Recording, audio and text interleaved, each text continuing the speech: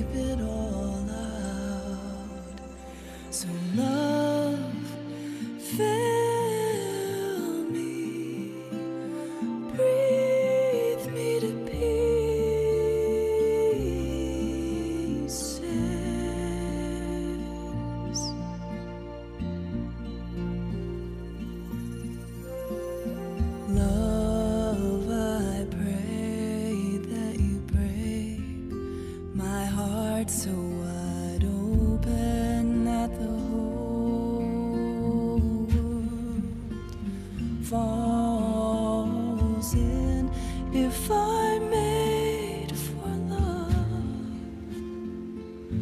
make me strong.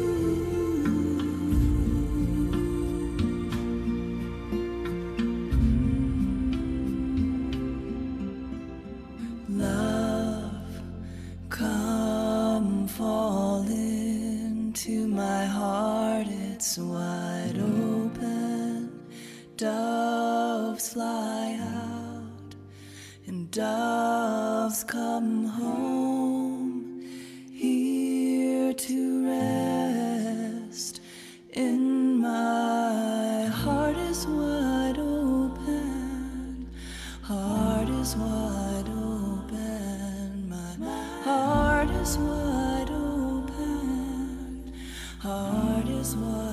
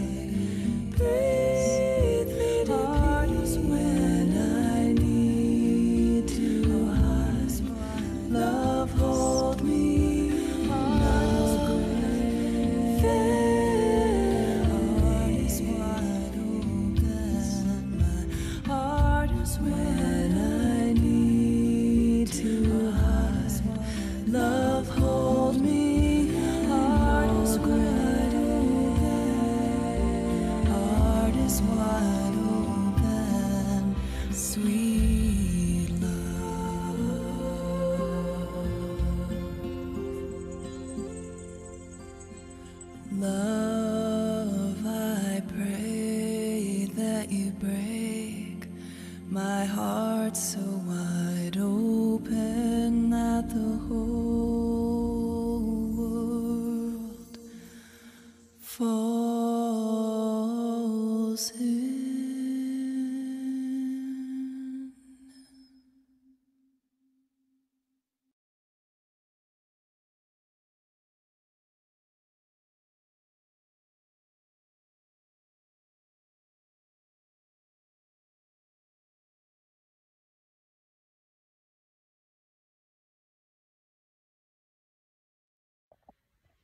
Happy Sunday. I am Laura Gustafson, the Congregational Administrator, and these are the announcements. Journey to Membership starts today, and the second day is March 6th. So if you're joining in on that today, please do not forget. The board is hosting converse, congregational conversations March 7th after service. Again, that's congregational conversations March 7th after service. Our directory is starting to be updated. We've gotten several emails from people. If you think your directory listing needs to be updated, please email office1 at vuu.org. Again, that's office1 at vuu.org. If you're looking for any other additional information for this week, please go to vuu.org and click on the weekly happenings link. Have a wonderful day.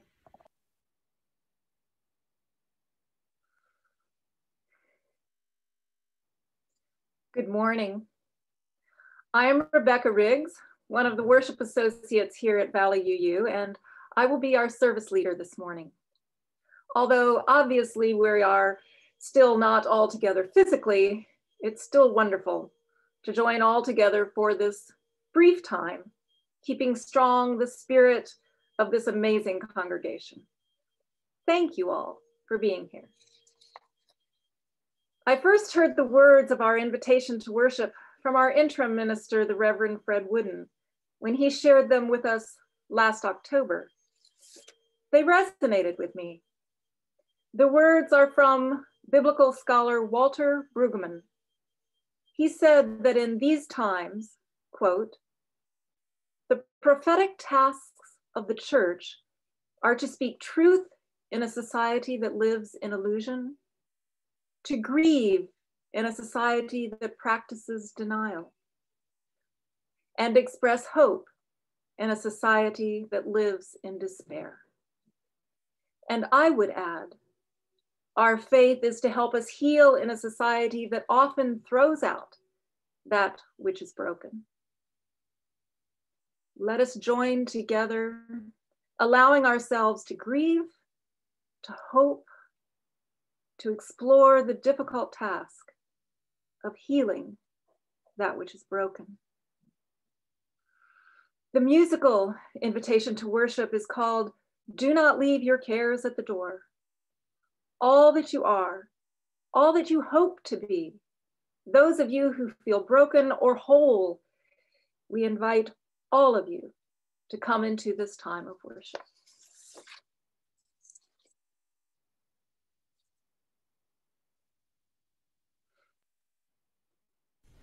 Do not leave your cares at the door. Do not leave them there when you come into this place. Be open to forgiveness and transformation. Come on in, you are welcome here. And do not leave your cares at the door. Oh, bring your pain and sorrow and joy. There's a place for them upon the altar of life. Be open to forgiveness and transformation. Come on in, you are welcome here. And do not leave your cares at the door. This is a place of grace, a place of losing and finding our way up on the winding road, meeting and parting, stumbling and starting over.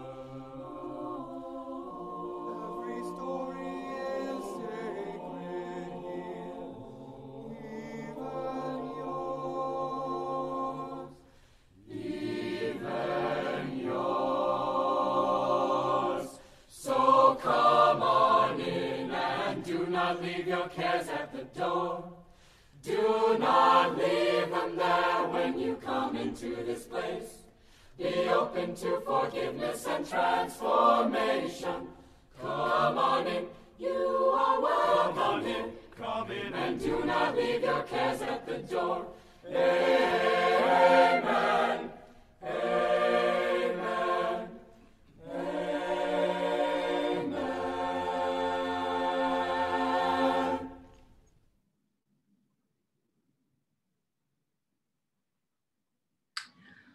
Well, now is the time where if you have a chalice at home, you can light it with me.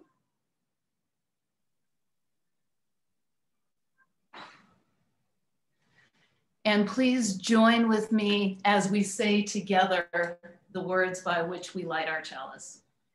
We kindle this flame, symbol of our faith, for the light of truth, the warmth of community, and the fire of love, which calls us to work for justice.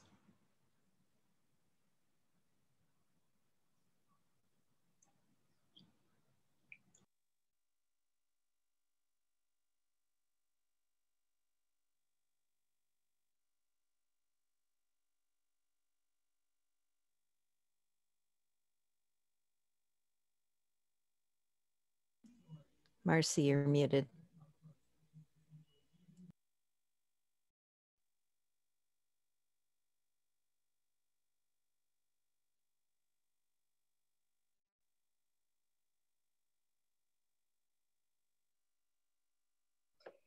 I think our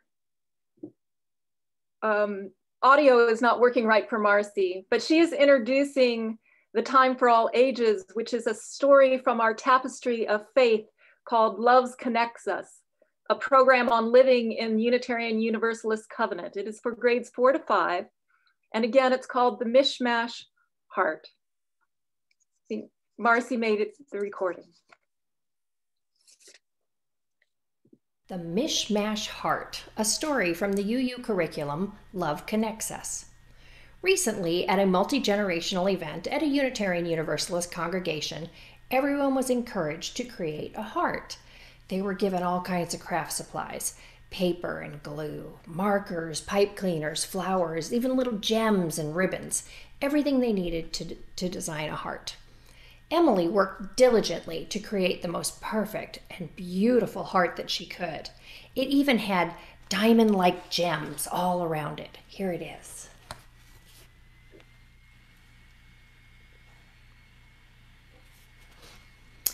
So, as she was helping to clean up, Emily noticed a heart that was made by a woman who was, you know, about her grandmother's age.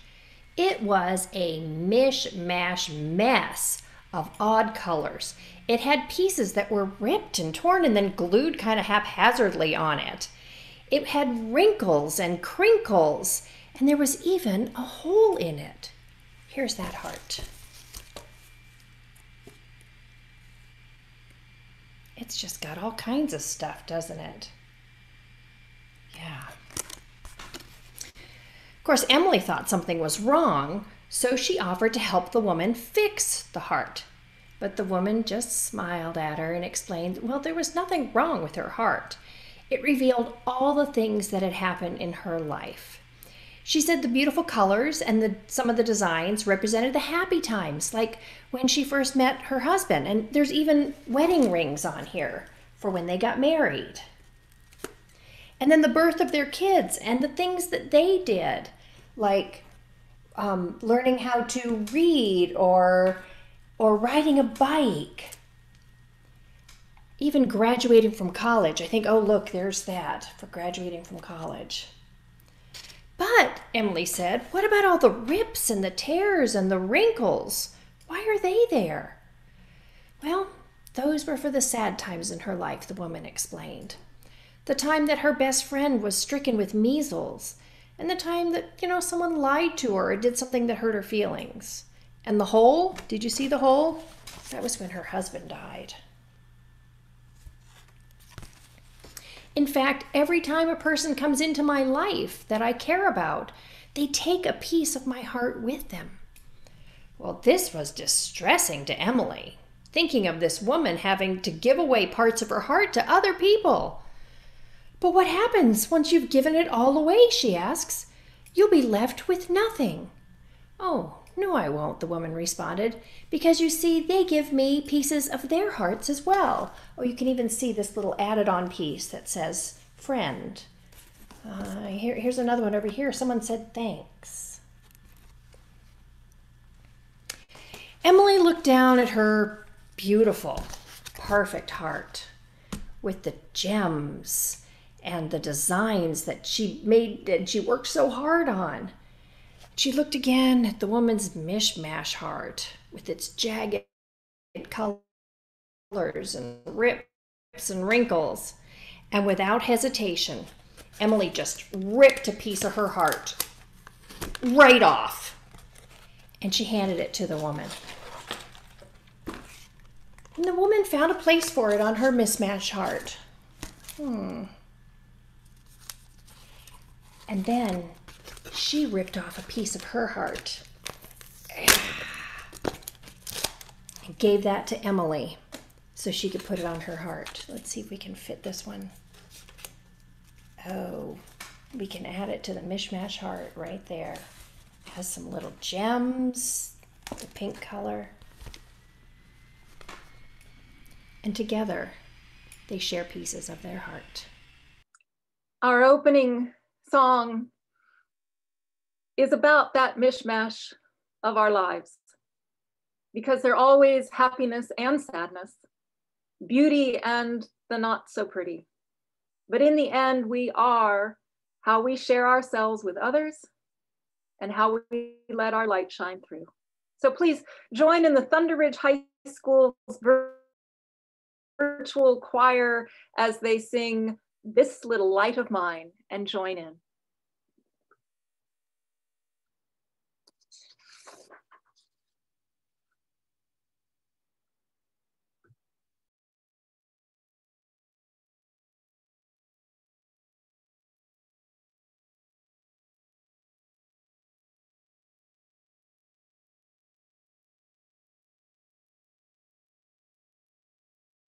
This little light of mine,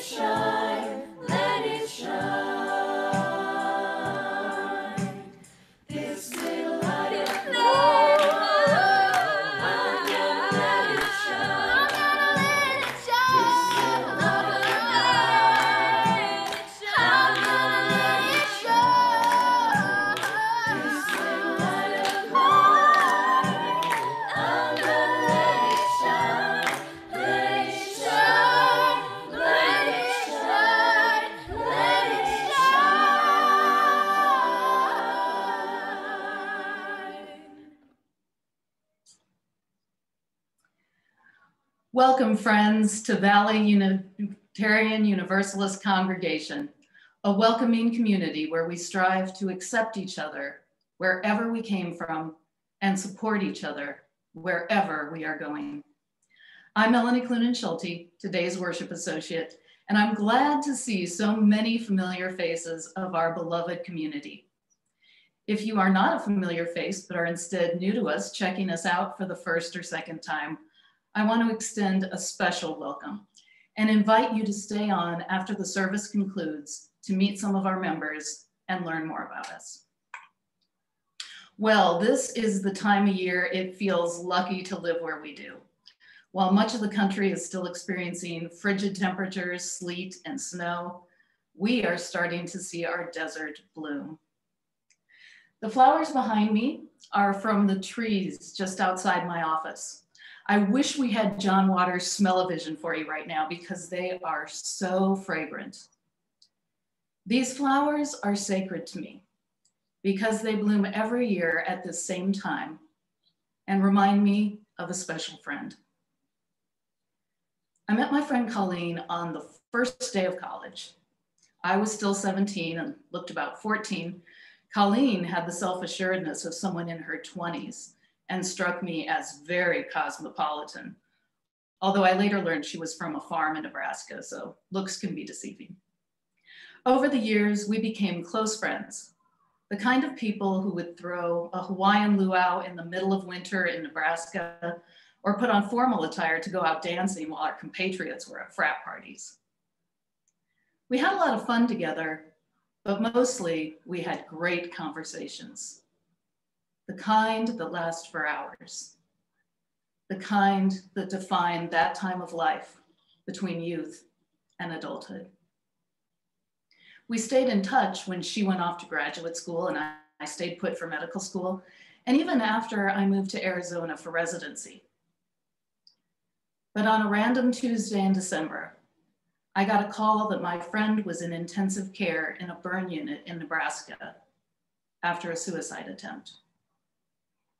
Visitors weren't being allowed, but her husband said he would read letters to her. So I wrote every day. Knowing how hospitals are, I sent a collage of pictures to hang in her ICU room so that the staff would know she was more than her admitting diagnosis. Someone who had beauty, style, and a great sense of humor. After a few weeks, she had recovered enough to be transferred to a care facility, and her husband called to say he was recruiting friends and family to help him when she returned home, as she would need rides to extensive therapy and medical visits. I planned to take a week off work to stay with them, but a few days later, he called again. Colleen had attempted suicide again, and this time, she had not survived. I returned home from the funeral and went back to work the last day of February, feeling as low as I had ever felt. I'd experienced grief before the death of my grandparents, my husband's cancer diagnosis, but I had never felt so bereft of hope. Walking to my car after a long workday, feeling despondent, I became aware of a scent that was so pleasant, I stopped in my tracks to look around and see where it might be coming from. That's when I spotted purple flowers. These purple flowers on the trees above me. I suddenly understood the Wordsworth poem, Surprised by Joy. A few months later, I started coming to VUU, which was one part of my healing process. Every year at this time, the flowers bloom for a brief time. They are lovely, but to me, they are more than that. They are a visit from my friend. They remind me of the beauty that was her life, not just the tragic circumstances that were her death. They remind me that even in the midst of the deepest sorrow, one can be surprised by simple joy. Rebecca's service today will also be such a reminder. I am so glad you're sharing it with us.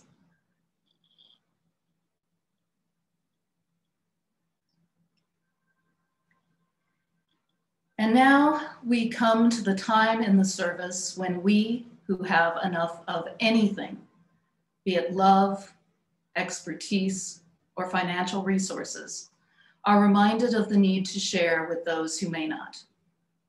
Your support funds the mission of this congregation, making sure others can also come here to heal.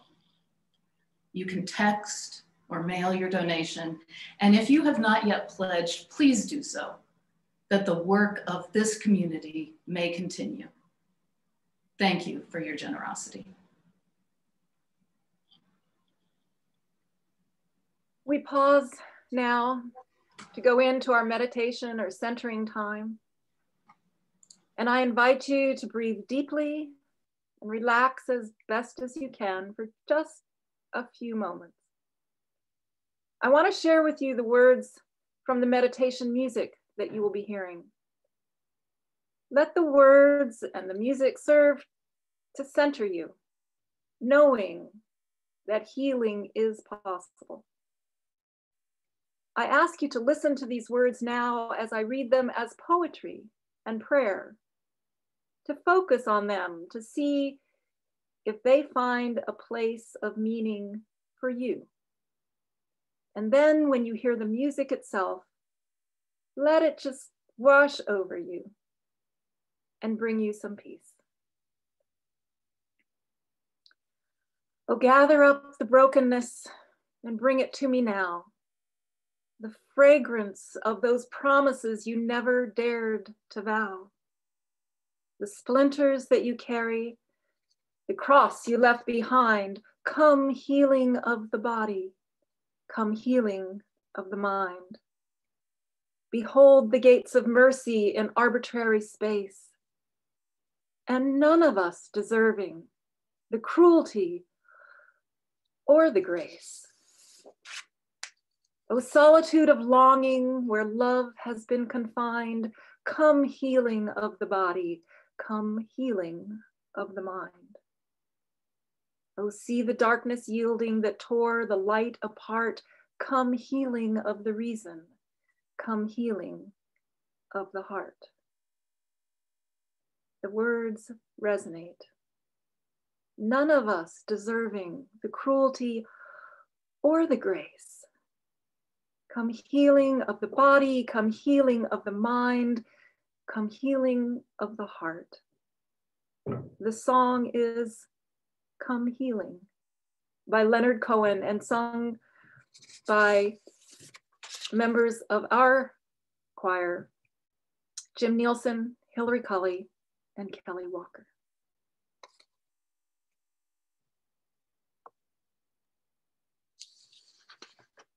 Oh, gather up the brokenness, bring it to me now.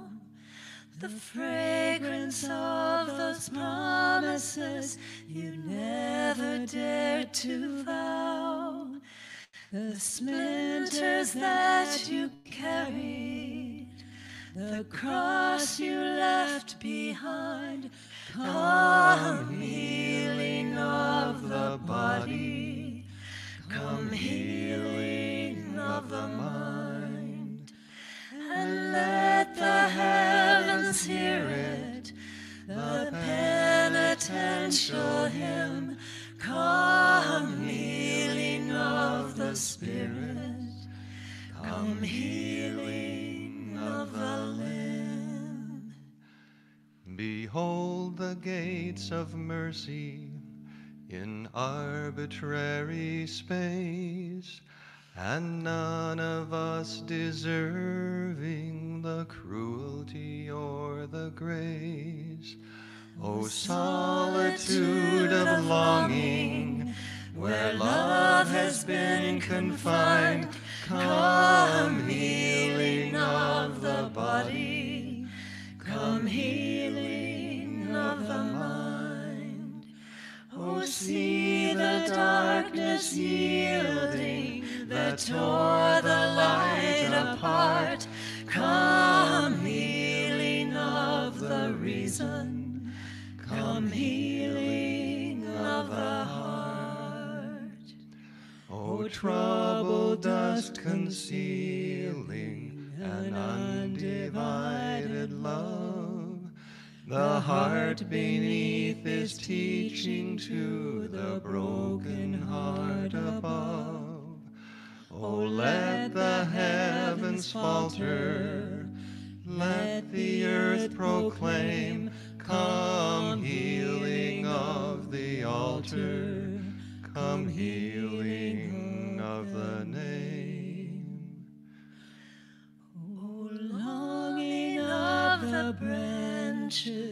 to lift the little bud. Oh, longing of the arteries to purify the blood. And let the heavens hear it, the penitential hymn,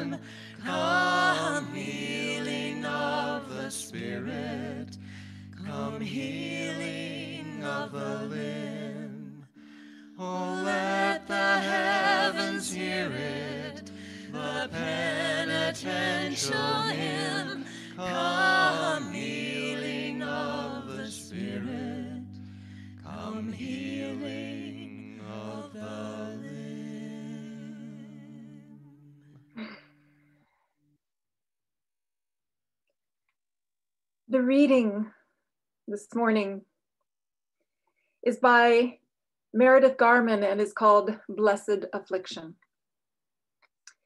This is a story of a young man who lost his leg.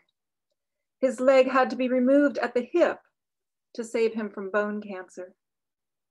Rachel Remen is an MD and now a clinical professor at family and community medicine at the University of California, San Francisco School of Medicine. She is a pioneer in the mind body holistic health movement and sees the practice of medicine as a spiritual path. This young man was one of Dr. Remen's patients. She writes, he was 24 years old when I started working with him, and he was a very angry man with lots of bitterness. He felt a deep sense of injustice and a very deep hatred for all well people because it seemed so unfair to him that he had suffered this terrible loss so early in life. Over the course of more than two years, slowly a profound shift began. He came to look beyond himself, to reach out to others who had suffered severe physical losses and to make visits to them. Once, he visited a young woman who was almost his own age. It was a hot day in California, and he was in running shorts, and his artificial leg showed as he entered the hospital room. The young woman had lost both her breasts to cancer, and she was so depressed, she would not even look at him. The nurses had left a radio playing, so to get her attention, he unstrapped his leg and began dancing around the room on one leg snapping his fingers to the music. She looked at him in amazement and then burst out laughing and said, Man, if you can dance, I can sing. A year later, Remen says, quote, we sat down to review our work together. He talked about what was significant to him, and then I shared what was significant to me in our process. As we were reviewing our two years of work together, I opened his file and discovered there several drawings that he'd made early on. I handed them to him. He looked at them and said, Oh, look at this one.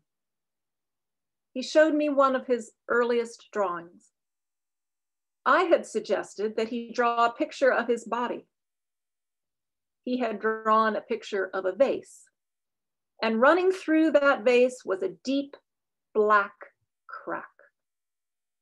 This was the image of his body. And he had taken a black crayon and had drawn the crack over and over and over again He was grinding his teeth with rage at the time. It was very, very painful because it seemed to him that this vase could never function as a vase again. It could never hold water. Now, several years later, he came to this picture and looked at it and said, Oh, this one isn't finished. And I said, extending a box of crayons, Why don't you finish it? He picked up a yellow crayon and putting his finger on the crack, he said, You see here where it's broken? This is where the light comes through. And with the yellow crayon, he drew light streaming through the crack in his body. That man's one leggedness became the way that he was able to shine in the world. Our special music this morning is called Go Light Your World, written by Chris Rice and performed by Katie and Andrew Seifert. We all have healing to do to keep our light burning. We all still have ways that we can bring our light to the world.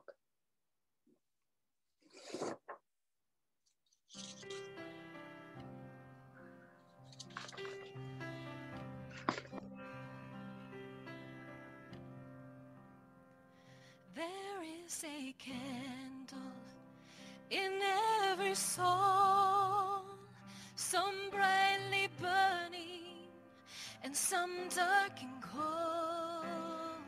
And there is a spirit who brings a fire, ignites a candle, and makes his home.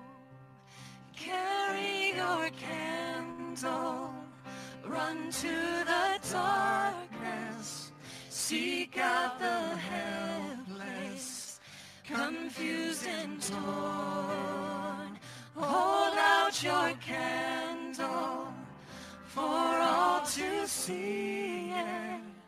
Take your candle, go light your world. Your candle and go light your world.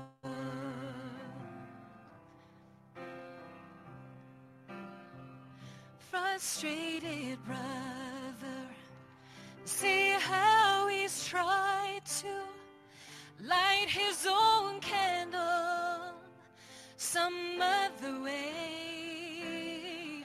See now your sister, she's been robbed and lied to, still holds a candle without a flame. Carry your candle, run to the darkness, seek out the loveless, the tired and worn.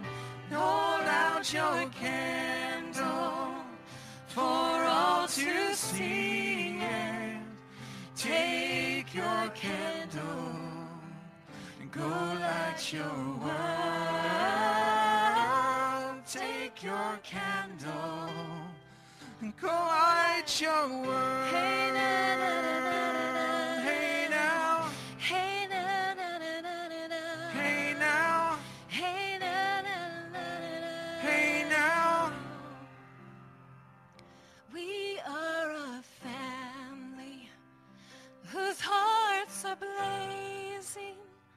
So let's raise our candles and light up the sky, praying to our Father in the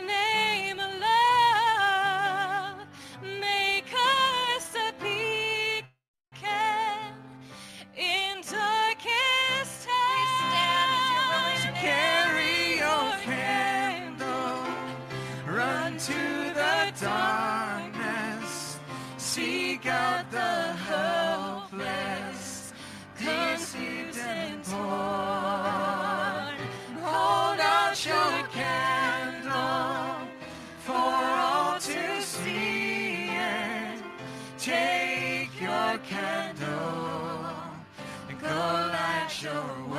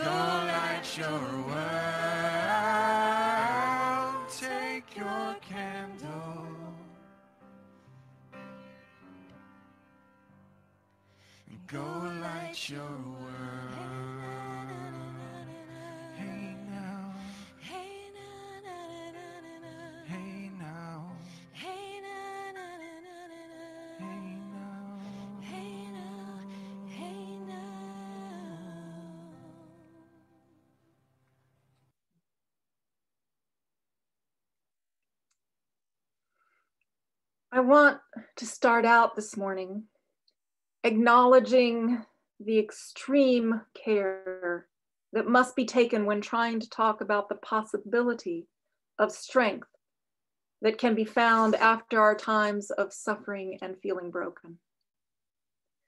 Too often, the relationship between our suffering and our strength is used to support the vision of a supreme being who allows us to suffer for our own good. I totally, totally reject religious and secular platitudes that seem to imply that you should somehow welcome your suffering. Statements like, God doesn't give you more than you can handle, or what doesn't kill you makes you stronger. Such words were said to me by well meaning people in the days, weeks, and months after my son's death. And they only brought to the surface more pain, frustration, and anger. Suffering is no gift, and we are not called to be cheery about our pain. Sometimes what doesn't kill you almost kills you, and your survival is a miracle gained by human resilience and a whole lot of help. Sometimes you grow immensely from an experience. And if you were offered that experience again, you would respond with an emphatic no, no way. Our growth does not justify our suffering or explain it away. Rather, I believe, like the Buddhist, suffering is simply a fact of our existence in this paradoxical life of beauty and tragedy. Brokenness is what happens when we open our hearts to the world and we fight against it valiantly because we are human. And sometimes we accept it. And miraculously, sometimes we grow. It is the growth and resilience we admire, not the pain. So it is yet another paradox of life that though we would not wish brokenness on anyone, we can still celebrate the incredible beauty and strength made manifest in every broken place. Which is why I like the way this morning's story, The Mishmash Heart, tells us that our hearts are, are beautiful, even as they are crumpled up and torn by living and loving. I even can appreciate the image of tearing off a piece of your heart to share with others. But if I am honest, my heartbreak rarely feels like a gentle tear. Instead, my world has been shaken. My world has fallen and it feels something like crashing. What was once whole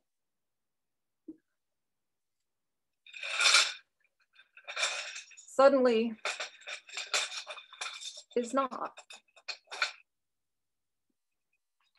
Have you felt that? God, in that moment, how we desperately wish we could go back to the way we were before. How we long to be whole again, uninjured, unblemished, unmarked. It was C.S. Lewis who wrote that the effort to make our way through life with hearts uninjured and unblemished and unmarked all too often leads to hearts that are simply unbreakable. He writes, quote, to love at all is to be vulnerable. Love anything and your heart will be wrung out and possibly broken. If you want to make sure of keeping it intact, you must give it to no one, not even an animal. Wrap it carefully round with hobbies and little luxuries. Avoid all entanglements. Lock it up safe in the casket of your selfishness. But in that casket, safe, dark, motionless, airless, it will change. It will not be broken. It will become unbreakable. And so it is that we move through the world loving people and animals and places, loving the world even as its tragedy chips away at our hearts. So it is that our hearts are broken again and again to be stitched back together as best we can. And just as the stitching together of broken flesh is painful and itchy, and the healing often slower than we would like, so too is the healing of the heart. And our hearts don't go back to they were to the way they were before. At least mine has felt more like this. Jagged, cracked, sharp edges, not as durable. When I tried to glue the pieces back together, I found that I could get one side to look pretty good, almost back to normal. But the other side, the one that I was tempted to keep hidden, it was still fragile and full of gaping holes. Definitely not what anyone would now call beautiful. But maybe, just maybe, we sometimes fail to notice our own strength and beauty as it grows through the bitter and sweet events of our lives. If we could see our own hearts in the same way we recognize the resilience and courage of those around us, we might see our scarred hearts a little more like this.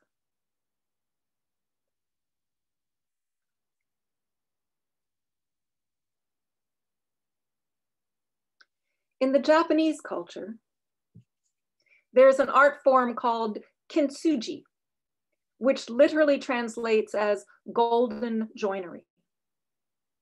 In the traditional Japanese tea ceremony, eventually precious china tea bowls would be broken and would have to be discarded.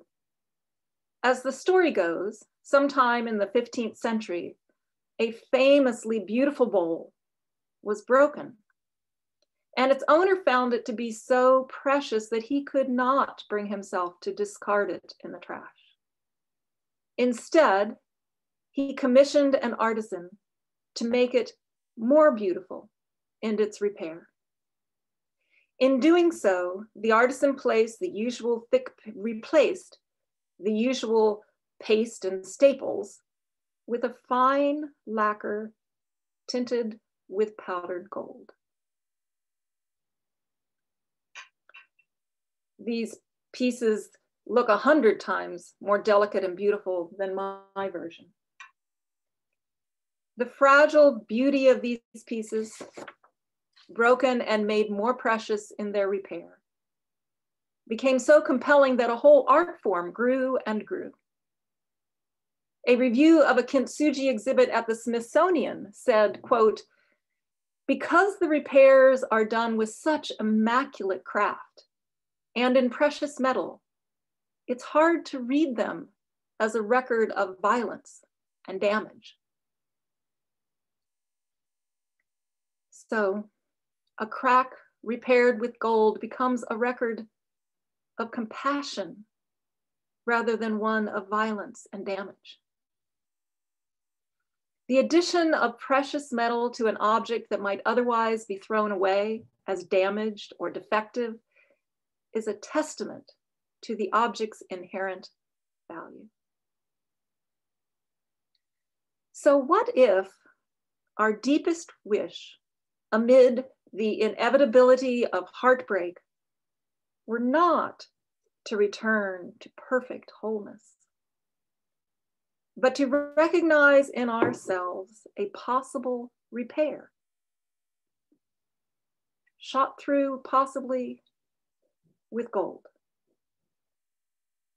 What if our task is to integrate our heartbreak, any heartbreak? They're sure to find us as we go through a full bodied and open hearted life. To wear our cracks as openly as we would wear gold, understanding the beauty that comes from complexity.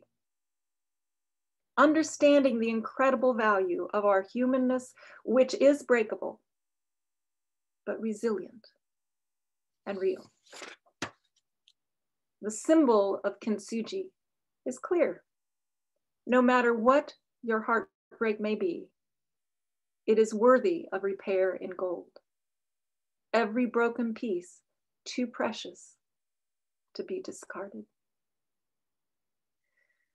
Furthermore, I believe with every helping hand, every act of compassion you receive, every act of strength that comes from within and without, they are each another drop of gold, which may with time transform a painful, violent crack in your heart into precious evidence of compassion, dignity, and love. I found these words by Stephanie Kalos, and they resonated with me. Quote, we speak of senseless tragedies, but really, is there any other kind? Mothers, wives disappear without a trace, children are killed, madmen and disease ravage the world, leaving wounds immeasurably deep and endlessly mourned but we never stop looking. Not even after those we love become part of the unreachable horizon. We can never stop carrying the weight of love on this pilgrimage. We can only transfigure what we carry. We can only take the shattered pieces and send them whirling into the world so they can take shape in some new way.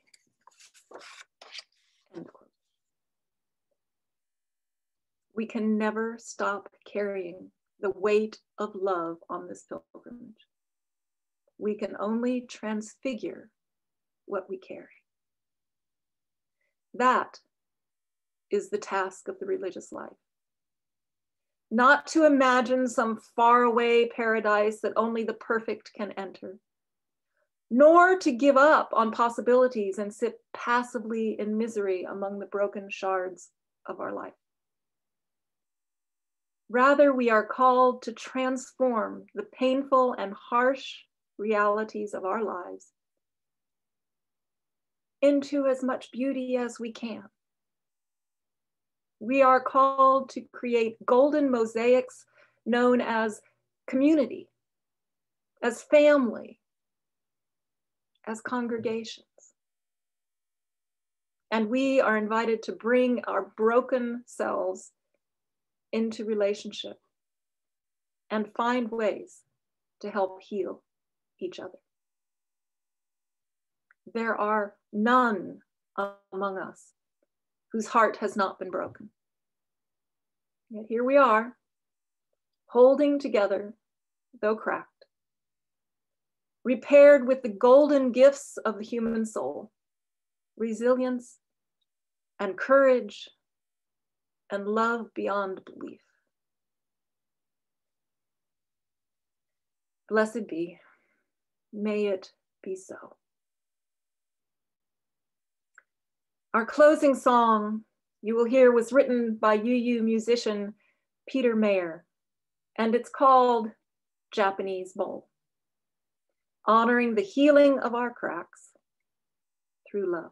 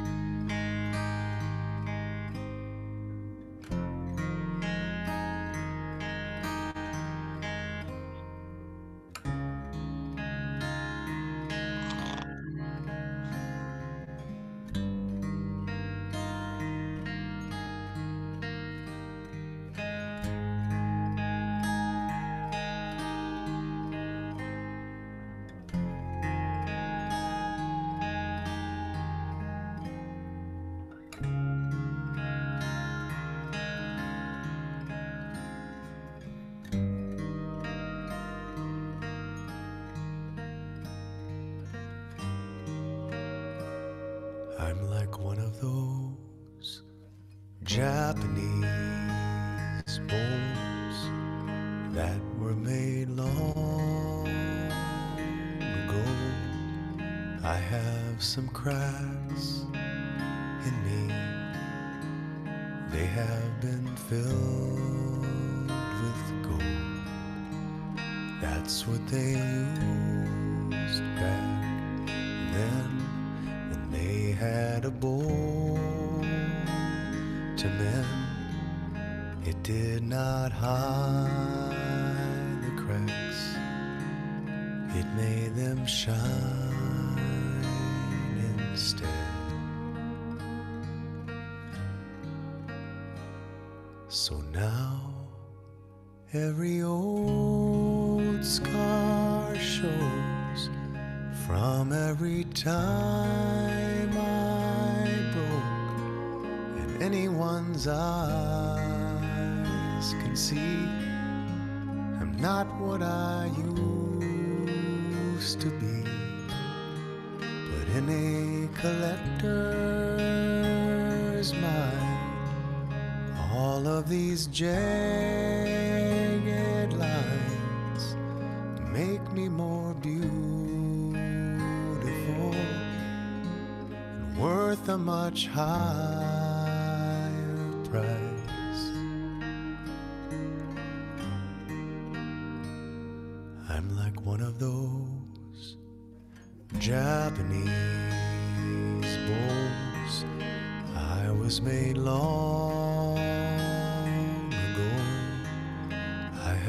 some cracks you can see.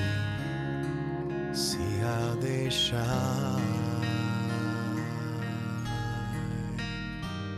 of gold.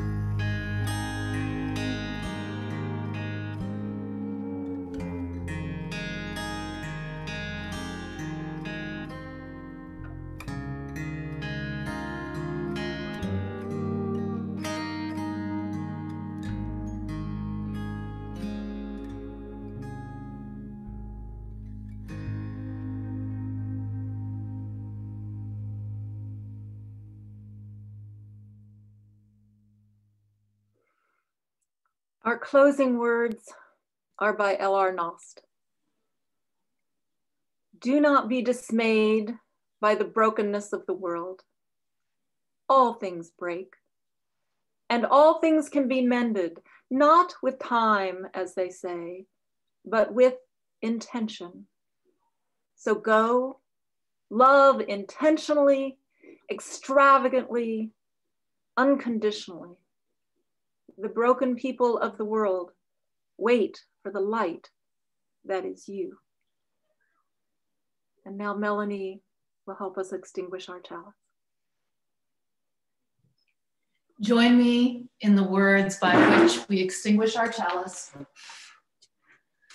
Though we extinguish the chalice, our connection to each other and this community remains. May its light guide us this week as we walk the path of justice, speak words of love, and fill our world with compassion until we meet again. I'd like to once again invite you to stay for the breakout rooms. And if you're new, just stay in the main session.